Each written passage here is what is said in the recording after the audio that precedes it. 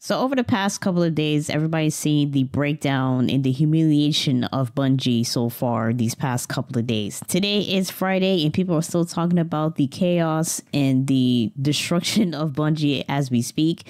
There's been a lot of streamers and content creators, both sides of platforms, either on Twitch or on YouTube, has decided that they're gonna be doing other things in the meantime since Bungie can't get their stuff together. For me personally, I did that a long time ago in August. I decided that my YouTube channel as far as when it comes to Destiny content, it was it wasn't really there for me to make continue to keep making Destiny content, and that's why I did variety of other things to keep my channel afloat because I knew there was going to come a time that Destiny at this point as far as the game is not going to be there anymore.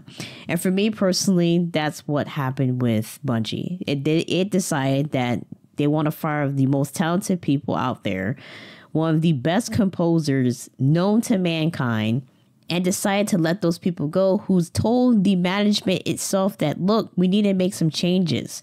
We need to desperately make some changes to bring new and our old people our guardians to come back and play this game. And unfortunately, like most CEOs around the world, they don't care about the, what the employer said. They are the employers. They're just the help at this point. Now, I've been hearing a lot of comments for the past videos that I posted, either it's long formative or even if it's short formative content that I put out, I've been hearing a lot of people's thoughts and opinions. And that's completely understand. There's times I will respond, there's times I will not respond because of course I'm at work and I don't have time to read everybody's comment until I have the days off. And I've read everybody's comments, and everybody said that yes, they think that, you know, Bungie made the right decision to let those people go, you know, because, you know, if they weren't making anything or making the game better, they need to be let go. Yes, that's understandable. In most corporate in most corporate world, that's how it is. Most jobs are like that. They'll let you go if you're not making the performance. But that's been years now. we haven't had a, a a PvP map in so long. It's been a while that you know, us as a community has been asking, okay, that's nice that you're making changes to the PvE portion of the game. What about the PvP portion of the game? You haven't made any changes to the game. You haven't made anything spicy for people to continue to play the PvP part of the game. Gambit has been dead since it got released. You haven't made any changes into there. Actually, made it worse. But when it, as far as when it comes to PvP, you haven't made no maps. No new maps hasn't came or you know has introduced since the seasons began, since they went, I guess, live services. Another thing that people has brought up into the conversations is about that the live service that they have for Bungie. And for me personally, I do understand that I don't think live service really fit this game format compared to other game formats. Now, for me, when I've been hearing people saying that you know they need to make a Destiny three, I kind of it kind of makes sense. Like how we're gonna have Division three very soon. I can't wait till Division three gets released. I kind of re-downloaded Division two, and I had fun last night, and it looks very polished itself compared to the other times. I don't know, if it's because I had a new graphics card that the graphics look a little bit better, or they had some updates and maintenance changes. Went back in there and had a little fun time that was another thing too that people has been talking about. Do you think that Destiny 3 would have kind of helped this franchise? Yes. If you couldn't fix anything in Destiny in Destiny 2, you couldn't do anything in your live services. I really do believe that I think you should have made a new Destiny to make all those changes work. There's been reporting that they didn't like that they waste all that money on that HQ. If you guys did knows, if you kind of follow them on Twitter, they kind of post all the pictures of their new HQ. And I thought, damn, that's a lot of money that they put in this HQ. You got all this money to put in this headquarters, and yet you don't have all this money to put into your Destiny 2 and to pay your employees as I'm reading through the comments and hearing what people have to say about, you know, they made the right decision, it kind of brings back to, you know, the days of the pandemic when you know my dad lost his job and it, it, it, hits hard and it's still it's still hitting hard when somebody tells you you've been laid off because of such and such issues for me it it, it hit it hits home because you kind of understand those people and that's why i don't really agree how Bungie did those employers because it happened to in my household. It, it's it's happened to me. I remember that same month when I'm putting the Destiny content, I had to make changes because my job was cutting my hours drastically. Like I'm like, hey, I got bills to pay and you're cutting my hours. And then you're coming to me complaining that you're, oh, we're not making the numbers. Of course, we're not going to make 90% if you're just cutting the hours down.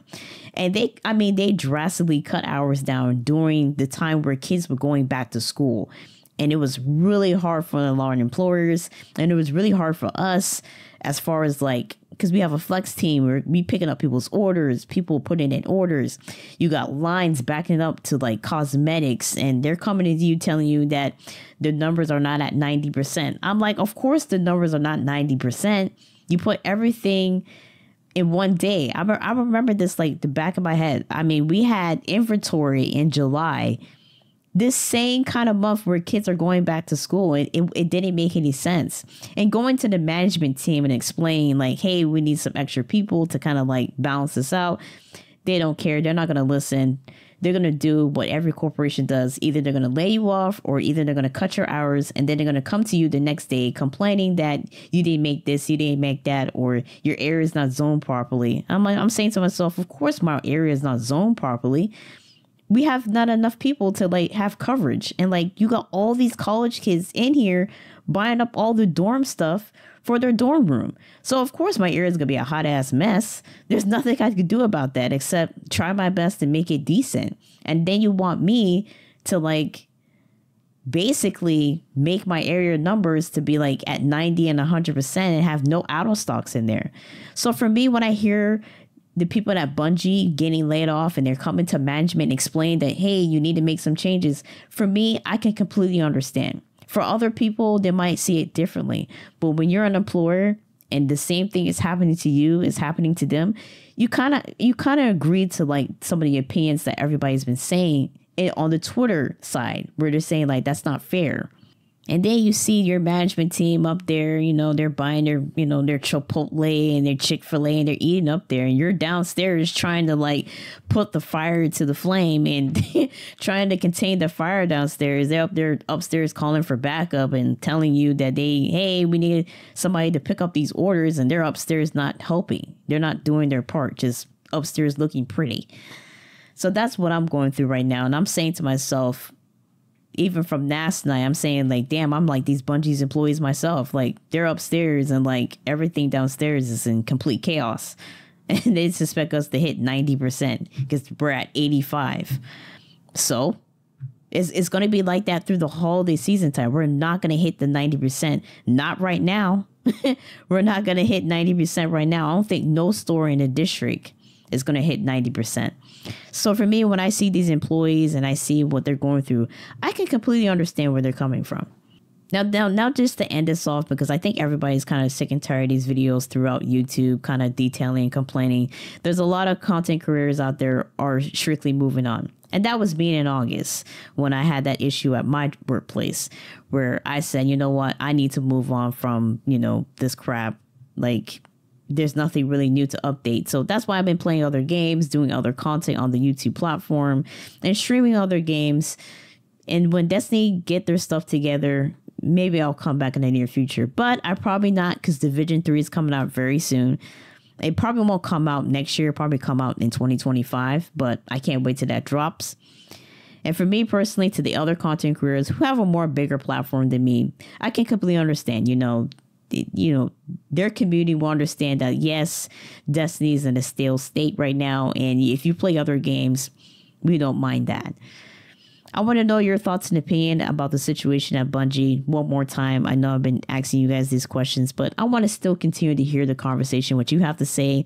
And I, if if if anybody's out there that understands what the destiny you know well the bungie employees been going through i would like to hear those thoughts and opinion and in the meantime, if you guys do enjoy this content, feel free to subscribe, hit the notification bell. I do variety of gaming. I will be playing Call of Duty, you know, in my spare time for the holidays. If you don't see me in November and December, that means the holiday hours are kicking in and I'm going to be at work most of the time. But in the meantime, I hope you guys have a lovely Friday night.